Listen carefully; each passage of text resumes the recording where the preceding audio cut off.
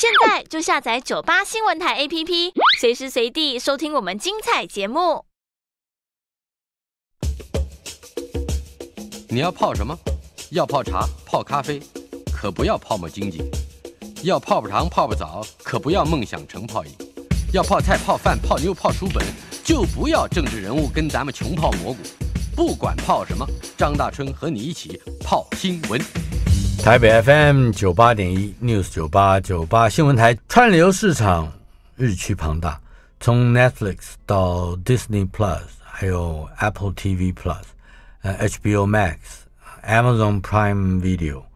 YouTube Premium，这说不完的，嗯，竞争也日趋激烈。而串流影音龙头 Netflix 在今年的第一季第一次出现了会员的负成长。接着，在第二季的财报里头也显示了他们流失了一百万的用户，这是连续两季的负成长。再加上近月以来，Netflix 不断在特定的国家和地区，呃，去试办共享账号的人数限制，有消费者因为没有办法接受这样的设定，决定取消订阅。日前更有消息指出，Netflix 和 Disney Plus 都分别计划在今年年底或者是明年年初。推出麻烦了，你最怕的有广告的订阅方案。今天我们的主题馆邀请到国立台湾大学经济学系的副教授冯博翰先生，嗯，谈的就是由先觉出版的《追剧商战》这本书，它的副题是解密 Netflix、Disney、Apple、Warner Brothers、Amazon 的串流市场疯狂争霸。要解读这个疯狂争霸，不过这本书显然所涉及的内容，呃，用我们今天来看，它虽然保留了非常多，呃，它试图探讨的这个疯狂争霸的内容，呃，包括资料，可是它好像已经过去过去了啊，它所面对的时代似乎已经变化了，呃，这个冯老师，我们怎么看这个？先谈谈《追剧商战》这本书。它合合于今天我们现描述当下这个串流平台的这个发展的什么样的位置？呃，我先补充一下，这本书的内容其实还蛮新的，它一直写到去年底跟今年初，是八个月以前，九个月，只是影视娱乐产业现在变化实在太快，嗯，然后过去半年又出现了各种翻天覆地的改变，嗯，那我需要说，巨力万钧的商战呢，总是发生在新科技。带来破坏式创新的变局当中，嗯，而这本书它写作的时期呢，是聚焦在二零一九年的秋天到二零二零年的夏天，嗯哼，那个时候我们大部分人在做什么？新冠肺炎的疫情爆发，然后我们在面对一个全新的一个疫情，可是，在短短不到一年的时间啊，有好多个串流平台都是在这段期间上架，嗯，包括 Apple 的 Apple TV Plus、Disney Plus。还有一个已经倒闭的，成立半年就倒闭的叫 Quibi，然后 HBO Max，啊哈，然后 Peacock 等等，所以短短的几个月时间，陆陆续续这么多的串流平台上架，这本书在探讨影视串流平台的商战，他们记述了 Netflix。整个成长的缘起，它为何强大，成长到今天这样，以及其他的媒体巨头和科技巨头，他们如何迎战？我们就从 Netflix 如何出现、如何强大这个议题先说明一下。我觉得它是对于串流市场，我们今天讨论这个话题有一个指标性的意义。对，其实 Netflix 最早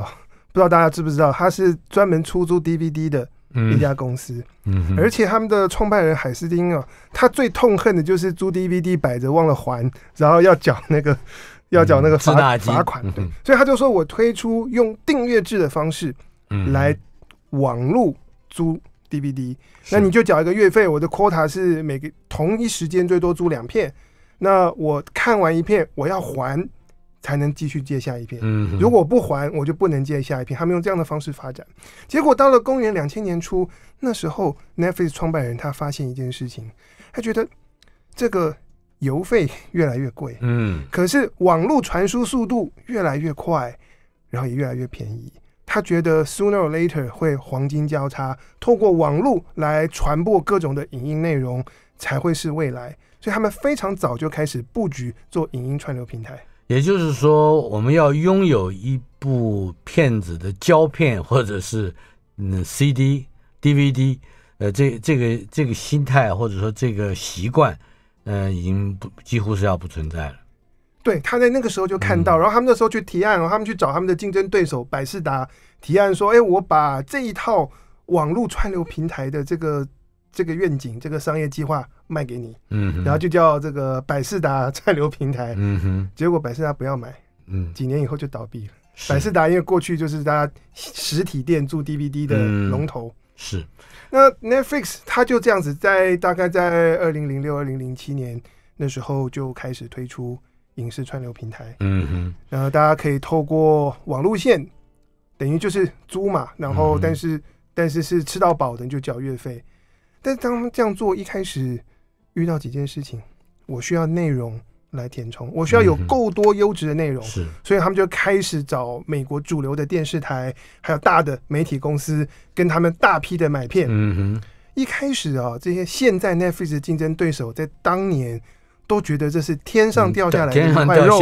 对对对，就是说现在这样的一个小小的网站，然后一年需要付我们愿意付我们这么多钱，然后我们东西在院线播过，在电视台播过，然后再卖给他。哎，你这话是一个关键性的用词，就是播过。对，过去这个播过啊，会递减它的价值。对，呃，而且在我们传统的频道里面，说这个是二轮。啊，或者说这个感觉上的就是，呃，越播它就越不值钱。可是 Netflix 呃，在它的起家好像就正好是调转了这个逻辑。对，它一开始都是买片来放这些别人播过的作品，嗯但是他遇到两个困困难。第一个发现，我把界面做得越好，然后我的订户越成长，嗯，结果我上游内容的供应商就跟我涨价，嗯我我我做越好。他们卖内容给我，就价格就越贵，我好像在帮别人打工。他说这样子不行。这个还是二零零七左右。对对对，这个这个，因为这样子的这个缘故，他们开始思考，我们必须要做原创内容，必须要自己投资制作属于我自己 Netflix 品牌的电影电视。嗯，但是当时他锁定的还是戏剧。对他们，他们初期锁定的都是戏剧，所以他们在二零一一年的时候。比方说，那时候他们开始投资《纸牌屋》，纸牌屋。那后来从二零一三年陆续上线。嗯嗯，这个时候，我我们就讲二零一一年这个，如果从回顾历史或者是国际上的这个情势，其他的国家，呃，有这样的对于这样的市场，也就是串流平台，呃，有过也有过打主意的这种现象吗？我相信有，因为根据《最具商战》这本书，我觉得包括在美国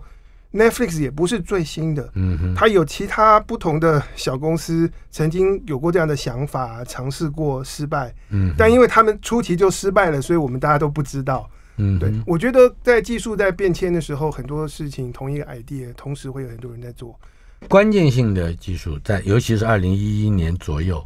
是什么样的力量和技术支持了 Netflix 继续走下去做原创内容？我觉得关键性的技术来自于第一个，他们从 DVD 的时期就选择用订阅制。嗯，那用订阅制有什么好处呢？你缴了一个月费之后，随便你要看什么。然后，因为他们是透过网络来租 DVD，或从透过网络来传播影音，因此凡看过必留下记录。他们开始拥有大量的数据。然后分析他的 audience，他们可以去分析数据。这个数据跟收视率不一样，收视率我们知道有多少人喜欢这个作品，多少人看。嗯，但 Netflix 的数据他知道谁看了什么，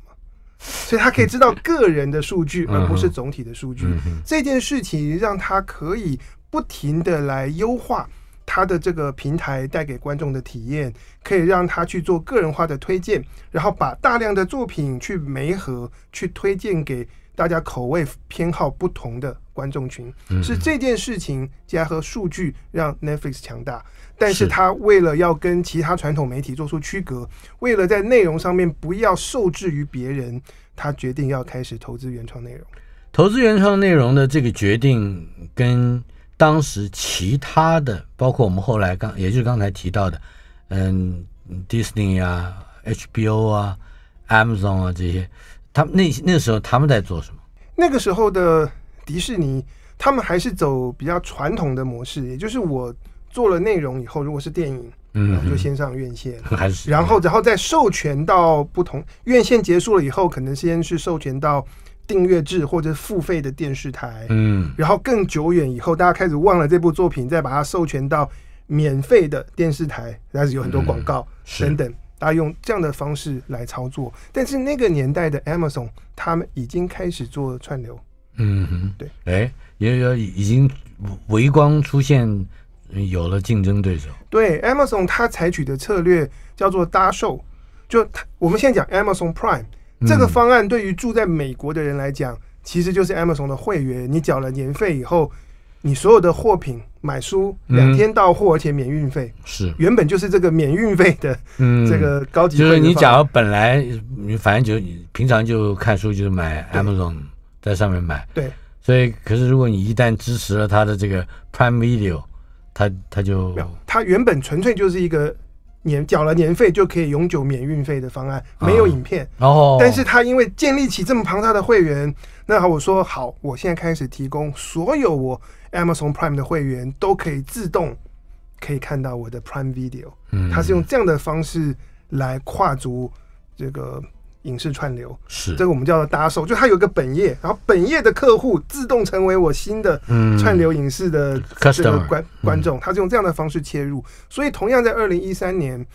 Netflix 推出纸牌屋的时候，Amazon Prime 也推出他们自己的。原创作品，嗯，哎，这一点我就不记不记得了。你他们什么样的作品？哦，什么样的作品？呃，在台湾啊，很多有有有一个东西，我称为假新闻。很多人很多报道会写说，Netflix 因为它重视数据，所以它是根据数据来判断观众喜欢什么，来决定我要拍什么题材，用什么节奏，找谁当导演跟演员。Netflix 不是这样做，嗯，Netflix 是给主创团队。完全的创作自由，嗯，但是真正用数据来决定我要怎么拍的，是 Amazon 啊，然后失败，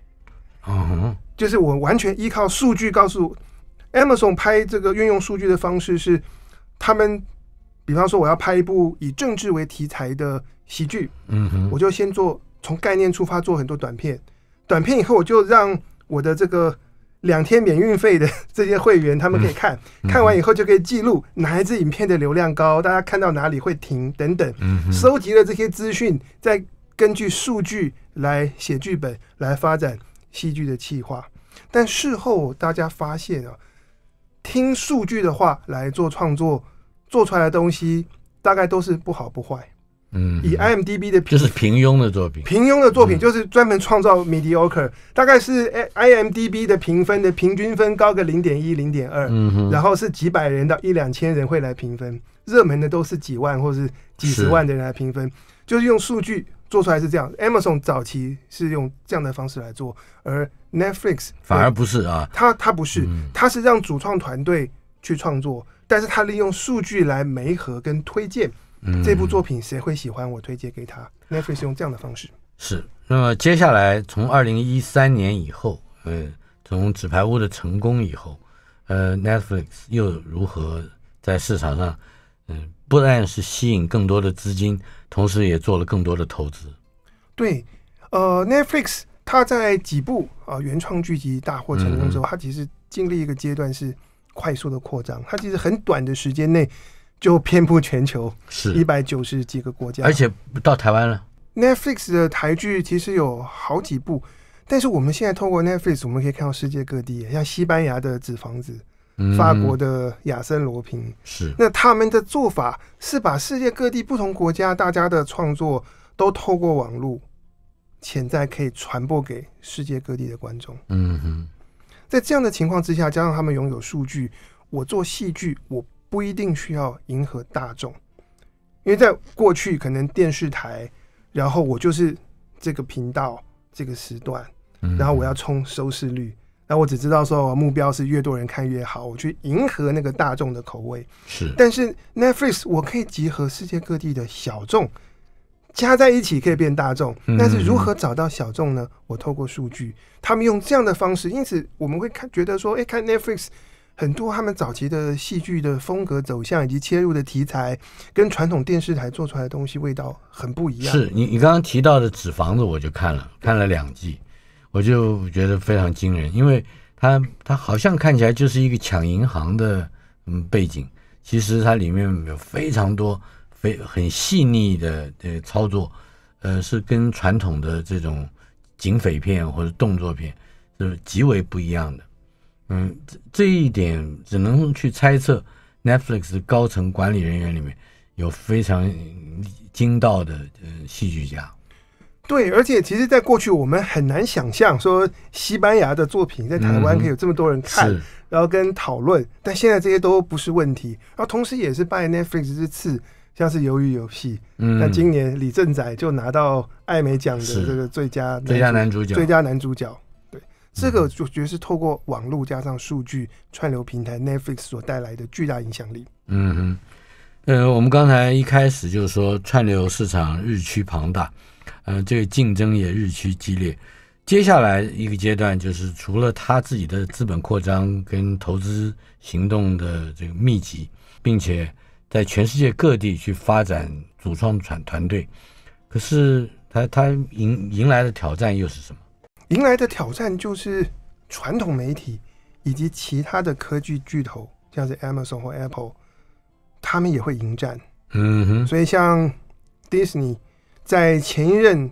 他们的执行长 Bob Iger 任内，就开始果断的决定说，我们要发展自己迪士尼的串流平台。嗯哼。但对外这个品牌叫做 Disney Plus，但他们内部的用词叫做 Direct to Consumer。就是我们直接透过网络把我们的内容推荐给消费者跟观众，不再借助这个有线电视的系统，或者不再透过。哎，他他们怎么做呢？他们怎么做？这点我觉得蛮有意思的，因为包括在这本书里面，包括我们去研究迪士尼的转型，可以看到他们在面对变局的时候啊，转型会遇到多少的困难。因为过去迪士尼的这个。公司营运的这个策略就是内容为王，嗯，授权到各地去播。嗯，那我现在如果要发展 Disney Plus，把我自己的内容留在我自家串流平台是。来播放，那么我势必需要切断我在别的地方授权。比方说，原本 Netflix 在这个成长茁壮的路上，也都有迪士尼的滋养，他们的一些这个热门的作品都授权过去。然后每一年这个大笔的这个授权费是上亿、上亿元美金的。但转型的过程一定会遇到说，我自己的串流平台还在拓展，订户数还不多，还没有什么收入。可是我不能够说这个时候我继续让大家各地都可以看到迪士尼的内容，是，所以他们就要切断，把把这些授合约授权合约到期的就不续约，或者是有些我提前解约买回来。成为我自己的内容，但这个东西讲起来容易，做起来难。为什么？这牵涉到一个大企业集团底下不同的高阶主管跟部门，他们原本有各自的工作绩效，嗯哼，还有他们的薪酬有很大一部分是来自绩效奖金。那么过去他们绩效的衡量方式，就是你这些内容的操作授权。可以卖多少钱？是。那如果我现在要你把这些授权都结束掉，嗯，一下子过你过去的业绩现在就归零了，嗯，然后现在你东西拿到 Disney Plus 来播，还没有太多人看，或者还在筹备期，那就是他整个他这这些个 staff 他们自己的工作形式就反了，逆反了，就逆反了。嗯哼。那我们在追剧商在里面会看到说，其他好多的这个传统媒体啊，他们转型就卡在这边过不去。嗯，所以大家为了这些高阶主管们，因为我的业绩是根据旧时代的做事方法来衡量，那我不会为了未来的这个走向去调整我的做事模式。不过迪士尼在那个 Bob Iger 任内，他就提出来说，我们的这个绩效奖金的这个核发方式也要改变。嗯，这这一点呢，倒是在另外一本书 Bob Iger 他的自传啊里面有提到。是对他说，我们就取消高阶主管，取消过去以销售销售红利的这个红利，那改成是什么呢？改成是我执行长主观来评定考绩，嗯哼。然后主观的意思就是说我来看，因为因为我们大家拼的是未来，未来的这个你绩效好坏，可能要五年八年之后才看得到结果，不是现在立刻看得到的。是，那就是由他执行长来来评分。嗯，不过当然他那样子做。是要配合他个人的特质，以及他在迪士尼任内长期的这个领导风格，造成董事会、薪酬委员会以及高阶主管信任他。不然，不是不是每一个领导者大家都相信说我的薪水是靠你个人主观的评鉴，然后来来来来决定。但是迪士尼有经过这样的一个过程，它需要配合内部组织薪资结构的调整，才有办法推动这个 Disney Plus。让催生 Disney Plus 是有条件干这个事的，因为它本身就几十年来、近百年来，他们就是就是有主创的能力嘛。对。可是其他的串流平台呢？呃，其他串流平台，我先补充一下迪士尼这边。嗯哼。包括迪士尼，还有其他串流平台，像是华纳兄弟，对，他们原本的想法也是一样。哎，我们是老字号媒体，然后我我手下的版权，嗯，这么多。可是当他们实际上开始经营串流平台，就发现不一样。嗯哼，我如果要吸引人，原本是看电视的，现在特别来订我的平台，然后他要输入资料啊，留信用卡什么的，哎，我光靠老片不够。我需要靠那种非常有高度话题性，会引起人兴趣，让大家心痒。一就是创造，对，需要创造，其实需要靠大的东西。所以刚才你有提到说，其他的一些串流平台，有一些平台的做法，就想说，我是不是仰赖老的片库？嗯，他发现这样是不够的。是。那以迪士尼来说的话，在八百个任内，他们其实有几桩大的并购案，包括并购漫威，然后星际大战，就是 Lucas Film。然后并购了福斯，然后这些东西下面有一些 IP，让它可以发展，另外发展新的，就源源不绝的推出全新有高度话题性的，嗯从 IP 延伸出来的影集。可是对不起，容我插个嘴，我看了一些包括星际大战延伸出来的，就是从小的人物的 IP，对，呃，认为它是有 IP 价值的。呃，这个发展的另外一个星球，另外一个支线的故事，我几乎都觉得蛮难看的。我也不想看。等一下，稍后编个不想看，我们回头反省一下。台北 FM 九八点一 News 九八九八新闻台主题馆访问的是国立台湾大学经济系的副教授冯博翰老师。博翰，这个《追剧商战》这本书其实是一个话题引子。让我们有机会再看一看，嗯，发展的更激进、更变化多端的串流平台。呃，Netflix 为 Disney 带来了刺激，Disney 手下是有无穷的财宝，也就是包括它的这些 IP 啊。可是为什么结束在我们刚刚的那一段的话题？结束在它实在不好看，知道吗？迪士尼怎么会创作出那么不好看的东西呢？哎，我觉得好不好看，我就取决于个人。嗯哼，就是像《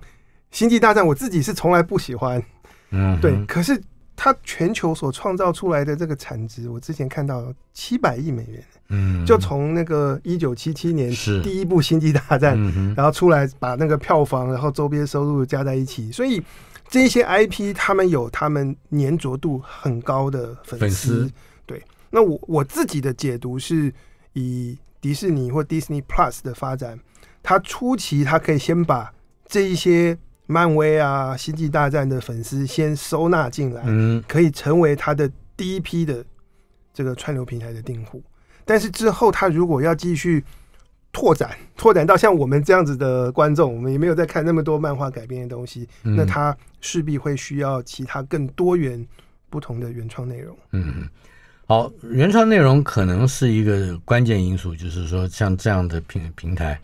能够持续发展，但是平台的变化跟整个技术的改变，嗯，尤其是通信技术，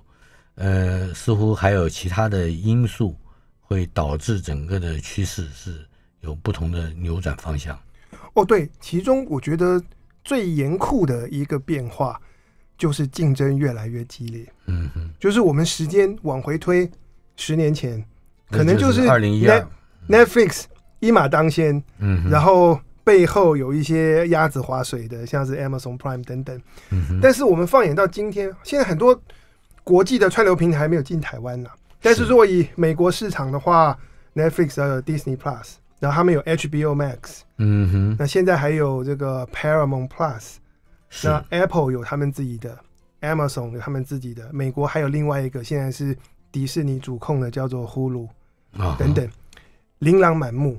这些都还是订阅制为主的。另外还有一批是完全免费，然后塞大量广告的免费串流平台。那这些大家竞争造成什么事情呢？这些订阅制的平台啊，他们其实互相在抢全球订户。嗯所以我们就看到，从去年下半年到今年，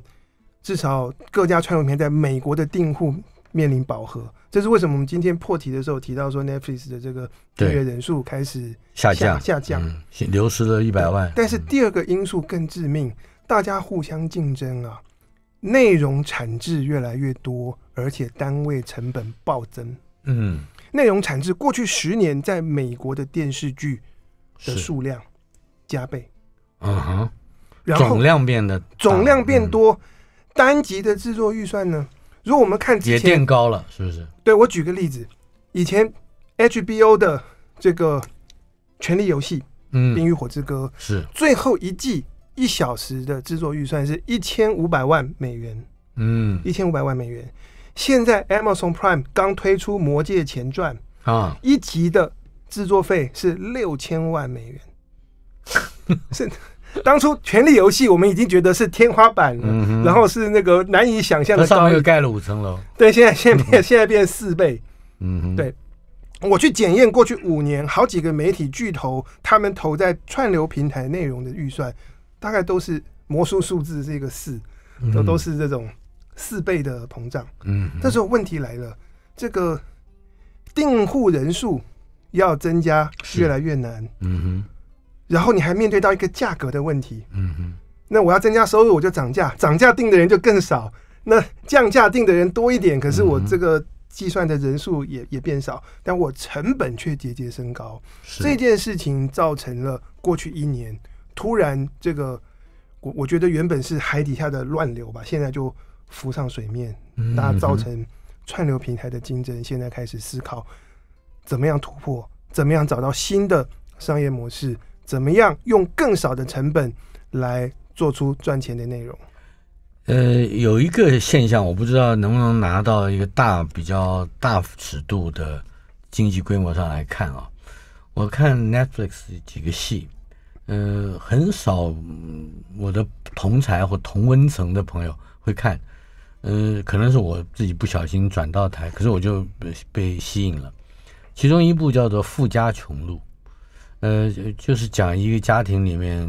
两父母跟两个子女。被流落到一个小镇上去，从呃非常凄惨的，从有钱的、有势的、有权有有权力地位的，呃这样的一个嗯家庭，嗯沦落到只能去经营一个，基本上连经营权都不完不完整的一个小的 motel，呃呃，可是这个剧好像非在美国非常之红，它可能铺路了，我觉得这个这个戏是铺路了。美国其实是两个不同的国家，而这这两个不同的国家，嗯、也分别代表了他们的贫富的悬殊，或者是意意识形态和价值观的大大的差异。哎，可是这这样的戏，它怎么推到我们说，比如说西班牙、韩国或者是台湾？的确，嗯、在我身边我看、看这个戏的人真的是很少。对我也是今天第一次听到嗯哼，这个可是他他大卖、啊。那你是怎么注意到这部戏的因？为我看到了其其中那个男主角那个白色的头发，呃，很浓很浓的眉毛，嗯，就是注意到这个造型而已，一点都没有指标性的意义。呃，就是，可是他的确，呃，整个戏的质感以及他的幽默，它是它是一个 sitcom 啊，但是它又是一个呃有很大量外景的，也就是它是实景的嗯戏。我我我我我就很很讶异，我后来回头想，如果没有串流平台，这几个演员里面大概没有除了他这个演母亲的人，呃，曾经演过《Beetlejuice》里面一个嗯被愚弄的妇人之外，好像其他都不是大明星，但是他红了。我觉得这要问 Netflix，但我我我看到的一些情况，一些一些个案的整理是说，第一个他们。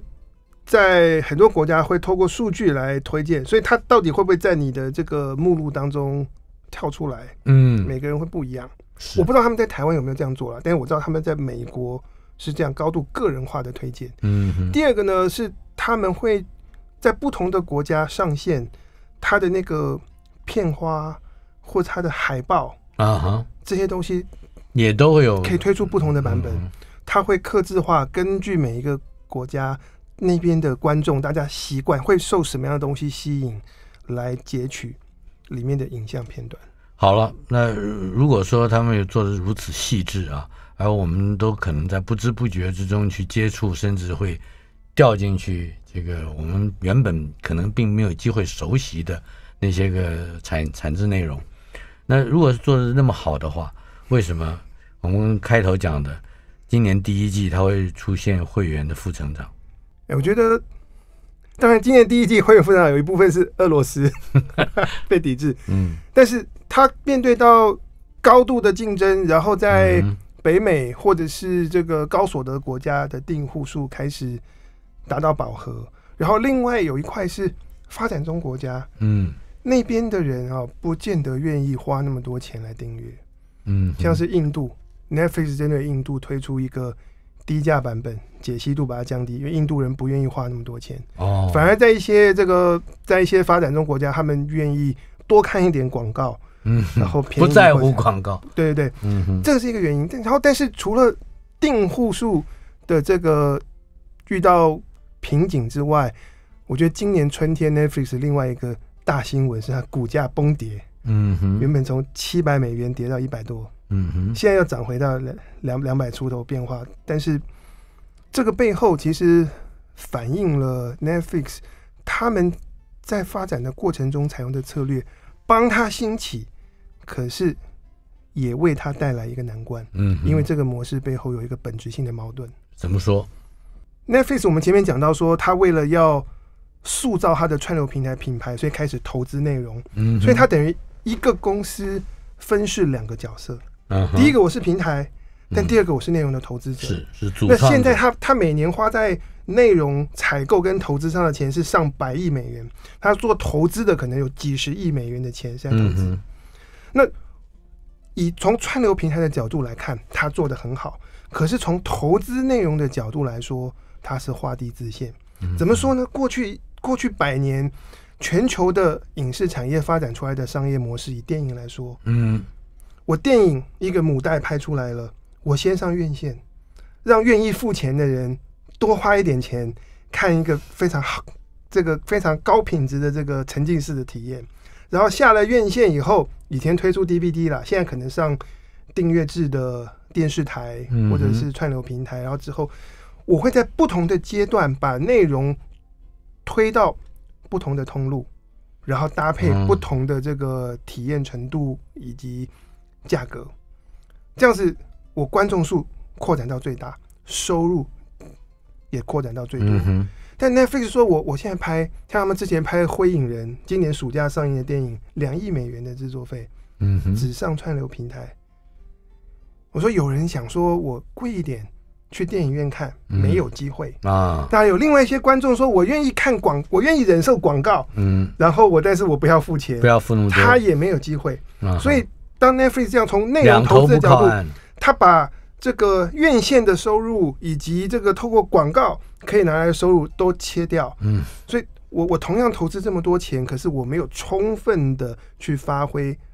这笔金额所能带来的效益。水能载舟，亦能覆舟。对。台北 FM 九八点一 News 九八九八新闻台主题馆访问的是国立台湾大学经济学系的副教授冯博翰冯老师。呃，我们从一本《追剧商战》这样的一本书来回头看看串流平台的发展。呃，在节目刚开始的时候，我们曾经说到 Netflix 跟 Disney Plus 都分别计划在今年的年底或者是明年的年初推出有广告的订阅方案。的确，对我们这种老 Coco，想回头想起来，看电视每十五分钟出现一段广告，一个破口，好像是天经地义的事啊！而且，某某种形态上来说，一出剧如果不在十几二十分钟的时候，画面一黑进广告，好像不太对劲啊。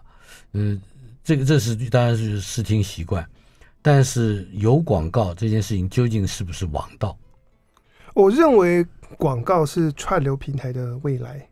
嗯哼，我自己是那就绕回去了，又绕回到传统。但是未来的广告跟我们以前电视台说十五分钟进一段广告，一定会长得很不一样。怎么说？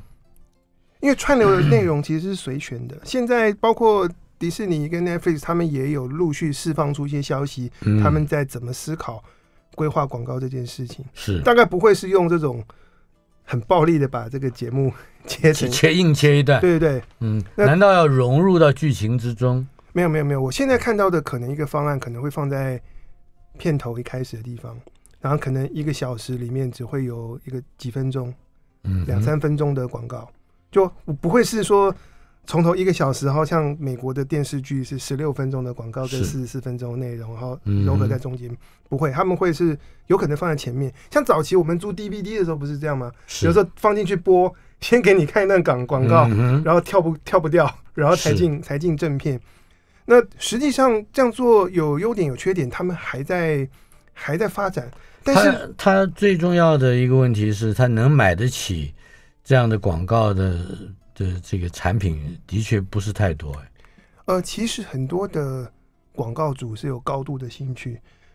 过去过去几年下来啊，因为随着有线电视这个整整体收视状况的萎缩，世界各地都一样。嗯，其实以前很多是下在电视节目里面的广告，嗯，他们没有没有他们没有这个触及能力了。有一些转移到一度转移到那些社群网站啊。脸书啊，或者是那种 Google 搜寻，可是那个媒体的属性跟内容不一样，嗯，它能够帮你这个推销跟带货的能力也不同。有些东西是适合戏剧的，就我我我自己的经验是这样子，我觉得社群网站很难真正引起我兴趣。注意到什么全新的商品，然后让让我进而去购买，是。对，所以现在可能慢慢的又，我相信会有越来越多的广告再从社区回到戏剧节目，再回到戏剧节目，然后去跟走广告模式的这些串流平台合作。但是这个这方面又有一点不太一样哦。以前电视节目是我们有节目时刻表的。啊，我知道你是九月播，然后礼拜四晚上几点，是。以后变成是随选，所以它变成他要去看。呃，可能是不同的人在不同的时间点，嗯，不同的节目会搭配到不同的广告，所以从这里就延伸出没完没了的各种的延伸课题。嗯，而还有一个，我们从投资的角度来去看啊，呃，如果不是投资一出剧，呃，或者说不是投资一出传统的戏剧，而是去供应出一种不一样的表现形式，这可能也是串流平台嗯一个极大的特色。比如说，我举个例子，我我过去我很少能够随时看到那个 stand up comedian 那种讲单口相声的，一次讲一两个小时。可是自从有了这个串流平台以后，我好像看起来这这个表现或表演形式也变得发达起来了。我我比较没有在关注 stand up comedy，但是我觉得目前整个串流平台的内容还是太偏戏剧了一点，相对来说综艺少了。你呃有一些我倒觉得是纪录片变多了，或者是说带着看起来像是纪录片的戏剧也也进来，反而我我总觉得那个表现形式丰富起来了。哦，表现形式丰富，对，因为他们不需要在迎合那个所谓的大众。所以，像是《哈佛商业评论》曾经有一系列文章在探讨说，这种串流平台，然后个人追剧，然后透过数据，是可以让创作更自由，让大家更敢于去尝试新的东西。嗯，因为我们从观众角度也是一样嘛。我们现在切切切切切，以前我不会去看西班牙戏剧的，现在我点到了，我会看个两分钟，看看觉得还蛮有趣的，我就看下去。嗯那也就是这种形式，啊，其实让我们一般身为观众的，我们也拓展，我们也跨出去，开始去尝试自己以前在电视或者电影的时候不会去不会去追的，或者说戏剧跟准戏剧、类戏剧差不多的戏剧，好像这这种边界也扩大。对。不过接下来的串流平台发展这边会更多元，像是我们今天开始的时候讲到说，那个 Discovery 探索频道他们并了，嗯，那个华纳兄弟，现在叫做华纳兄弟探索，嗯，那他们的发展趋势呢，就会把原本华纳兄弟的电影，他们原本旗下 HBO 的串流平台的内容，跟探索频道他们自己有个串流平台叫做 Discovery Plus，嗯，两个合并。这是他们未来接下来几年的重要工程。那在探索频道底下有大量的各种的实境秀，嗯，然后旅游的、时尚的、生活的、科技的大量的内容会进入成为未来的这个 HBO Max 跟 Discovery Plus 合并之后。你刚刚说合并，那并购之中还有出现了有趣的故事哦。并购，对并购的话。第一个很有趣的事情是，很多人看到说，哎，Discovery 去并华纳媒体集团，嗯，有一点那种小吃大，嗯哼，对，有点感觉像是小王子前面那个大一条蛇啊吞了一只大象，嗯，但是原本 Discovery 的这个老板叫做扎斯拉夫，嗯，他敢这样做，我觉得他是有非常多的想法。AT&T 为什么要把这个华纳媒体集团切分出去，让它被 Discovery 并？因为它下面负债累累。有五百亿美元的负债是，然后 AT&T 在《追剧商战》这本书里面谈到很多华纳媒体集团在 AT&T 旗下在做的事情，嗯不是太不是太成功，但都可以成为商学院的这个这个教材。